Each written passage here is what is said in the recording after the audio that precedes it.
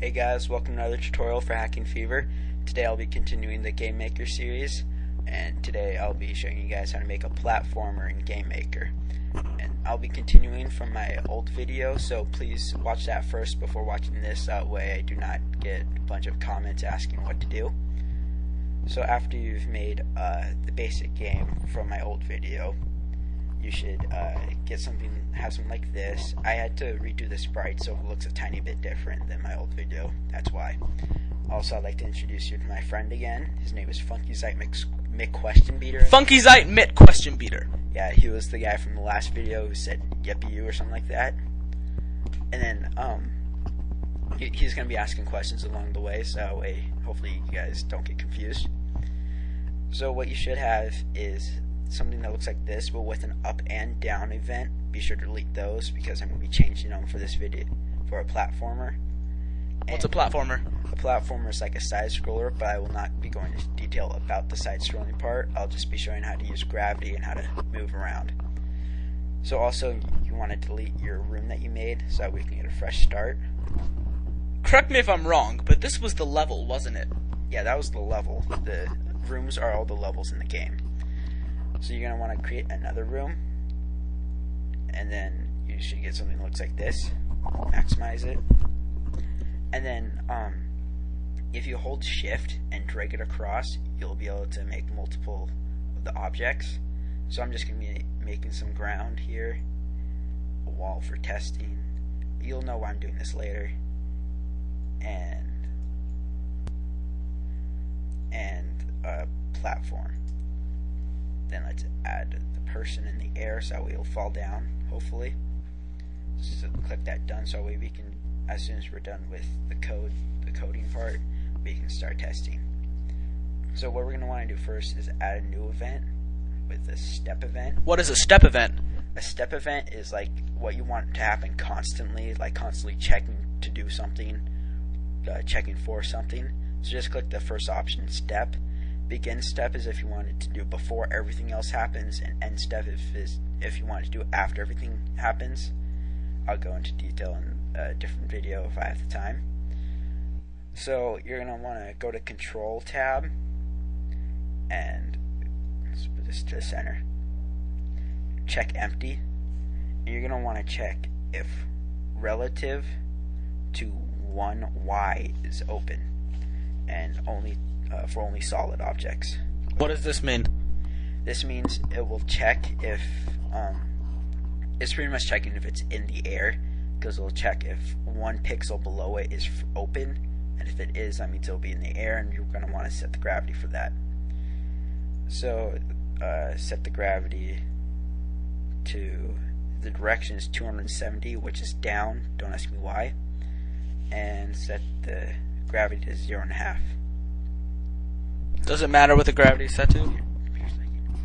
um, the the gravity doesn't matter what the gravity is set to as long as it's not zero, or else you won't have any gravity. Because if it's zero, there won't be any gravity. Okay, and then also you're gonna want to go to Control tab and drag out the else button. The else button means is if it does not meet the old requirements, then you uh, you'll want it to do something else. So let's have it. So it pretty much just means if it is on the ground, uh, we're going to want to set the gravity to 270 degrees. I don't think this one matters that much because we're going to be keeping the gravity at zero. Just put 270 degrees just to be safe. Click OK. And then uh, the vertical speed is pretty much how fast you're going up or down. And we're going to test that using this variable. Its codename variable is vSpeed.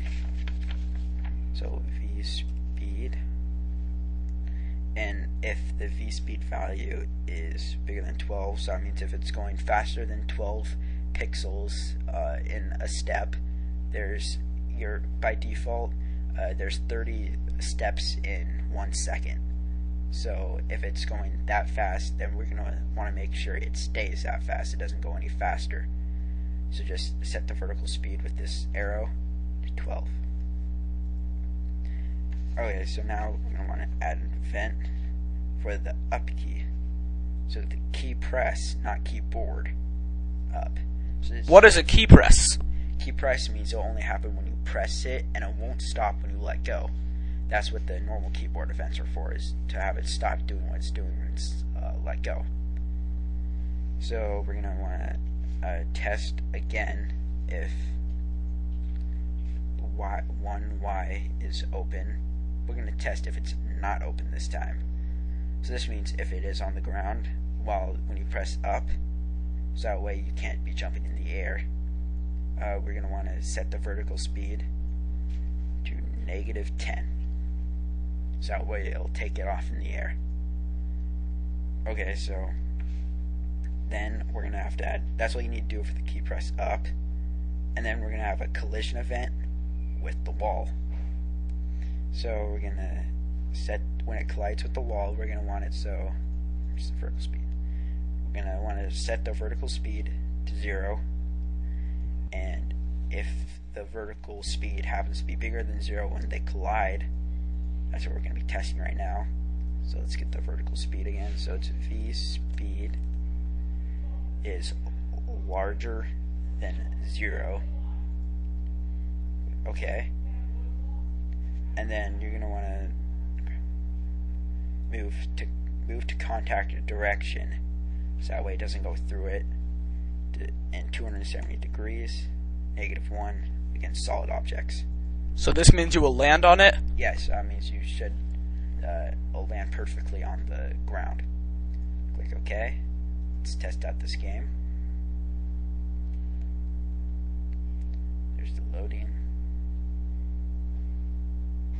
So it falls down, and there we go. Oh, the key press isn't going up. Let's see what's wrong with that. Okay, so on this key press up event, you're going to want to make sure when it checks empty, sorry, this was my bad, but make sure the not box is unchecked. That was totally my bad. Should I click OK? Okay, let's test this game out. And here's, it'll take us to the room that we set up before. This room. I'll stop when it hits that wall. And you can jump up and land on the ground. That's what happens when we hit the bottom. And it just stops. Wow, so you did all of that? Yeah, that's what we just did this amount of time. So I might be making another video on how to make it so uh, you can have a large room where the screen will scroll uh, in your uh, level. But as for now, uh, this is all I'm doing. Thank you for watching and stay tuned for more Game Maker videos and other videos like this as well. And so I'm the. I hope you enjoyed these videos and come back to us soon.